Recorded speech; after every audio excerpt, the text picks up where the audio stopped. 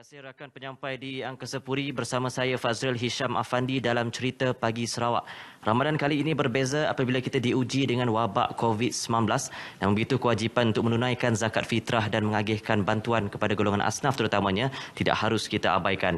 Menyentuh mengenai isu ini di Sarawak terutamanya, kita bersama dengan pengurus besar tabung Baitul Mal Sarawak, Datuk Abang Muhammad Shibli bin Abang Muhammad Naili. Assalamualaikum, apa khabar Datuk? Waalaikumsalam, kabar baik, Alhamdulillah. Terima kasih sudi bersama kami hari ini. Untuk situasi kali ini kita berdepan dengan wabak pandemik COVID-19. Bagaimana dengan kaedah pembayaran zakat fitrah untuk bulan Ramadan ini? Adakah sama seperti sebelum ini atau ada kaedah alternatif lain yang diperkenalkan Datuk?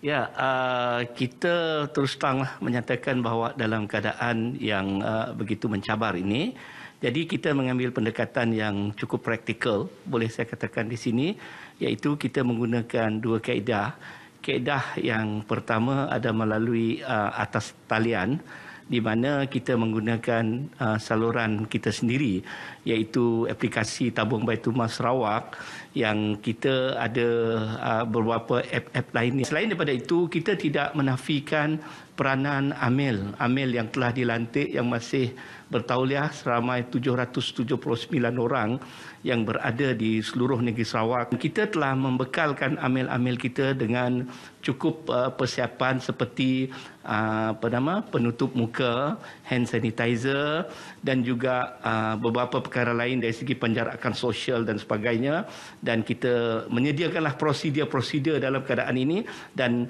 cara penerimaannya lebih kepada kita tekankan dari segi niat uh, dan kita bagi kupon dan seterusnya uh, bolehlah uh, membayar dan sebagainya. Bagaimana pula dengan uh, untuk menjejaki asnaf? Sebelum ini kita ada beberapa uh, alternatif ataupun inisiatif seperti jejak asnaf, portal yeah. Baitul Mal Kamit dan juga email rasmi Baitul Mal sendiri. Yeah. Dan juga sebelum ini diperkenalkan aplikasi darurat untuk memudahkan lagi uh, permohonan bantuan dan juga agihan kepada mereka yang memerlukan.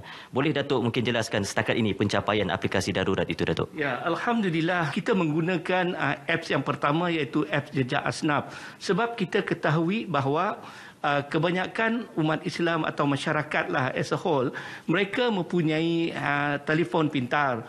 Jadi bila mereka menggunakan app, app jejak asnaf tu kita telah dapat membantu pada tempoh tersebut di mana mengambil masa lah. Sebab apa yang penting kita dapat tahu siapa yang memerlukan bantuan dan melalui apps tersebut kita telah uh, nak me- mengesahkan uh, membuat verifikasi uh, begitu lama kita terpaksa telefon lagi dan sebagainya mengambil masa yang agak panjang. Alhamdulillah setakat ini ya apabila kita telah mampu uh, memotongkan proses itu sebanyak 23,617 uh, keputusan dalam 5 hari dibandingkan dengan 15,340 untuk 20, 23 hari untuk menggunakan jejak asnaf. Tapi menggunakan apps darurat kita telah dapat 23,617 dalam tempoh 5 hari saja. Uh, selain daripada itu, untuk apps darurat lah, ingin saya nak memberi perhatian lah kepada para pemohon lah. Memang uh, ia menggunakan satu aplikasi yang uh, yang terkini di mana kita perlu uh, memberi gambar uh, apa nama kad pengenalan dan juga gambar swafoto kita. Ini adalah tujuan verifikasi. Verifikasi ini penting sebab kami tidak ada dokumen lain untuk membukti bahawa orang itu sebenarnya pemohon. Ada juga yang telah kita agihkan dari segi kotak makanan yang telah melibatkan lebih daripada 8,000 ha, yang telah mendapat bantuan kami. Akhir sekali Datuk, dalam situasi yang mencabar ketika ini, apakah harapan besar daripada tabung Baitul Mas Sarawak sendiri dan bagaimana orang awam boleh membantu dalam situasi ini Datuk? Ya, saya melihat satu budaya yang begitu cantik sekali pada masa ini, baik orang uh, perseorangan, uh, individu atau boleh kita katakan uh, persatuan, NGO dan sebagainya, bagi kami lah, uh, kita tidak dapat berharap kepada pihak-pihak berwajib sahaja.